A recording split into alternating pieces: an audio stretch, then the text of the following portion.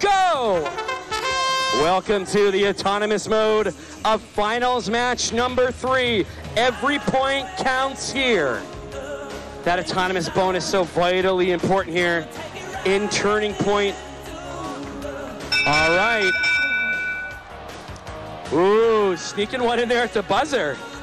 Let's see who's going to be here, ladies and gentlemen. Referees taking a moment here, getting the score accurate and right. Big moment here for everybody. Blue with your autonomous bonus.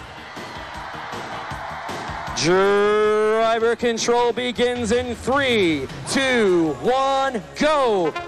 Finally, the driver control period match has begun here, ladies and gentlemen. Minute 40. All four machines here active in rolling. Blue took your autonomous bonus. You've seen early cap scoring here in both finals matches. Then you saw each team kind of deviate from that strategy. Let's see if you see this here again for finals match three. Blue looking to de-score. Unsuccessful in doing that. Red's going to try to do the same to blue. I would tell you about the flags, but honestly, they're going to go back and forth for the next minute and nine seconds.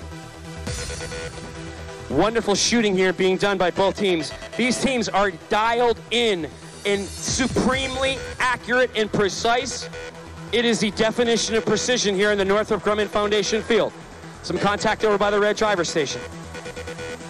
Blue trying to clear out the platforms there so they can perhaps ascend to that center platform for six points later in the match.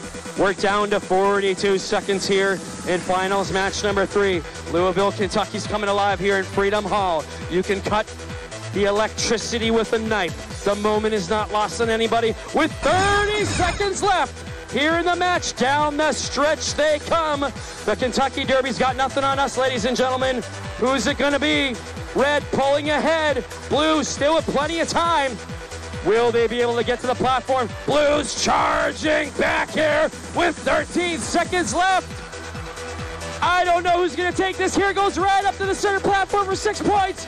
In five, four, here comes the battle. Three, two, one.